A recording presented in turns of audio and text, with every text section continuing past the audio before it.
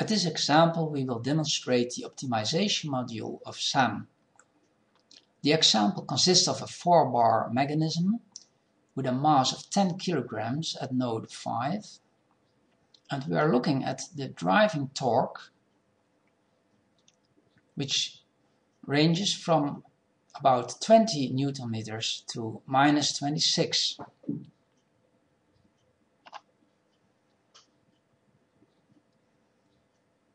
we will change the options of the scaling to not auto scale so we can say later on we can see the changes on the range of the torque. The idea to reduce the torque is to apply another mass in the coupler plane. We'll do it by using two beams, one and a second beam. So at this node 6 we will apply a mass using the element properties where we can put 20 kilograms at the end of the beam which means relative distance to node 1 is 1 so now we have added another mass. What we see at the curve left is that it didn't improve very much. Still we have a big range about between 20 20 newton meters and minus 20 newton meters. So the mass and the location of this mass is not really a good improvement. Therefore we need the optimization of SAM. Before talking about the optimization, be aware that in this example we don't apply gravity. So it's just only the masses that play against their movements and uh, ask for some torque at the drive. For optimization we need two things. The first thing is the objective, which will be defined in five steps.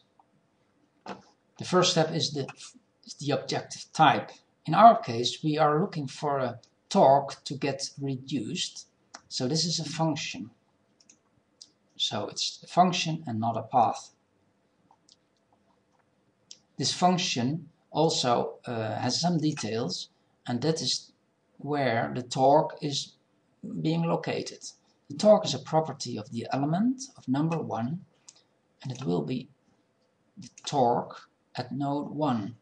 We can choose any of the properties but in our case we want to reduce the torque. Our function is put against the time axis. The reference file is in our case not important because we're not dealing with a path, but we are dealing with a function. In this case, there is no reference file. And the next step is for step 4. It is the property we are optimizing.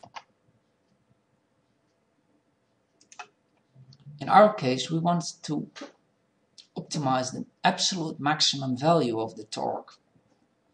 And our goal is to minimize this value. So we want a minimal torque peak value, actually. That's what we're looking for. And peak value is not enough. We need the absolute value. So now we defined our objective. Second step is to define our parameters. The parameters are, in our case, the position of the mass. And we will do it using this dialog and we will select an element or a node. In our case, we will select a node, exactly this node, and we want to let the optimization process look for a better location. And we can do that by drag a rectangle for defining the area in which this mass will lie. So next we, we have told SAM now that this mass may range within this area, this gray stippled area, and the optimization process will look for the best location.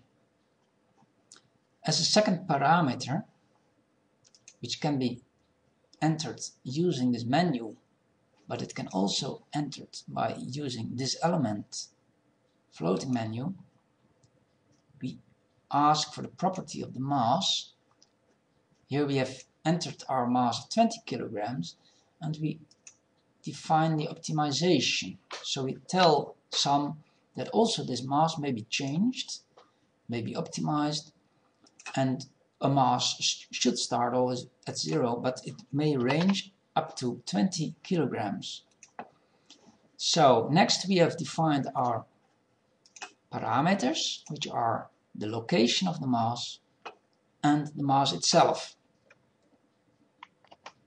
Now we will let SAM start the optimization process by entering the run command and SAM will try to find the best solution. At the left you can see our goal, the, tor the target um, torque value, which is uh, decreased already and we hope it will decrease more and more after looking for a better solution. Runtime we see if there's a better solution then SAM will display it here and well it looks like uh, it's not easy to find a better solution but our simplex method makes a strong improvement as we see. After some time